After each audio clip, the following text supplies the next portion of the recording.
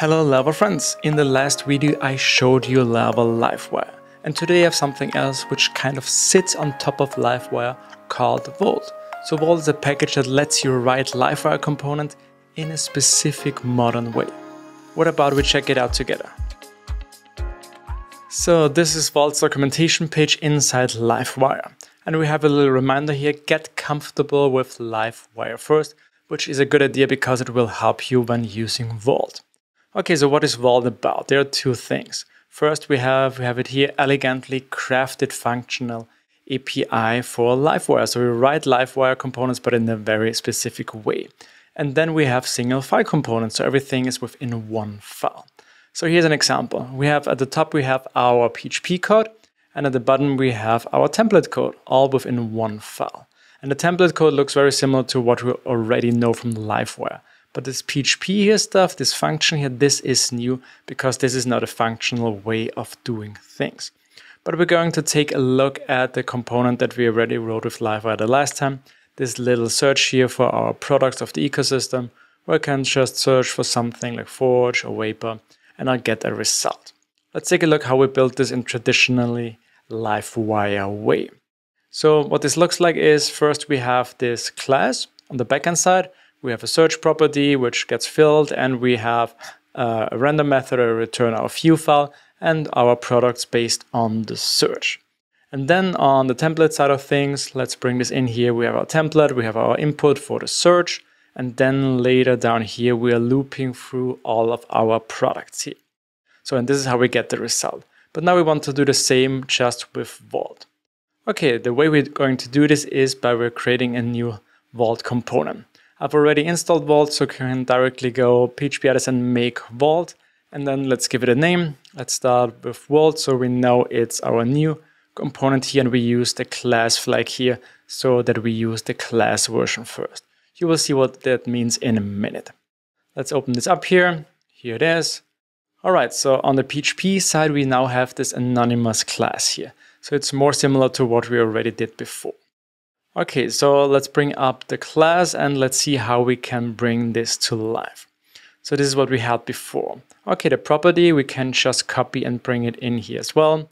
Let's type it so that PHP Storm is happy. Um, but yeah, the render method now is different because we don't have a render method because it's clear we return just a template down here. So um, we don't need the render method, but we need to provide our products, which we did here in this render method. And there's an, uh, another way we can do this with a method called with. So public function with. And yeah, this just basically returns an array similar to what we had before. Let's bring this in here. And this is the same. Let's also import the namespace. Let's add a re um, return type here, which is an array. So this basically does the same, but we don't need the render method anymore. And I think this should already be it. We have our property, we have our with method, we have our template, so nothing changes there. So, oh yeah, the template we are missing here. Let's copy this one here, everything, and let's bring this into our new component here. Yeah, we forgot about that. Let's bring this in here. We don't need to change anything here. It should work like it did before. So um, I guess we should be able to give it a try now. Let's switch back to the browser, refresh, and oh, we forgot something. Inside our um, blade file here, we need to bring in our new component because we're using the old one. So let's bring this in here and now refresh and try again. Can we search for Forge? Yes, we can. Vapor and Voya. Yes, so this is still working. So we have switched our component here to a volt one, which I think is pretty cool. But now I think it's also nice to take a look at how we can do this with the functional API. So this means we're going to get rid of our class here and we now try something new.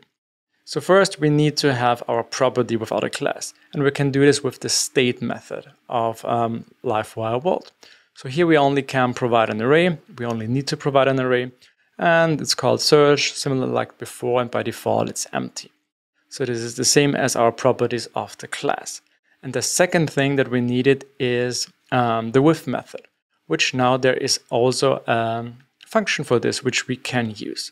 So with, and I'm not sure which one it is, let's just copy the namespace here and rename this. This should do it as well. here with and now we are going to add a closure here, short closure, and we're only going to need to provide an array similar to our method from before. Let's bring this in and here we go. I think this also should be it. So we have our state method where we define our property. We have the with method to make sure that with every render of our page, we get our product. And that's it. Refresh. Let's try it out. And voila, yeah, it's still working. So yeah, we've now um, created a new um, functional way for our Volt component, which also works, which I think is pretty cool. Of course, this is just the tip of the iceberg. There are many other things you can do with Volt, so make sure to check out the documentation for um, more advanced components. Yeah, we have attributes here as well. So yeah, there's much more for you to discover. So yeah, please check that out as well. If you haven't tried Volt yet, please give it a look. It's another great tool from our ecosystem. Have fun. Bye.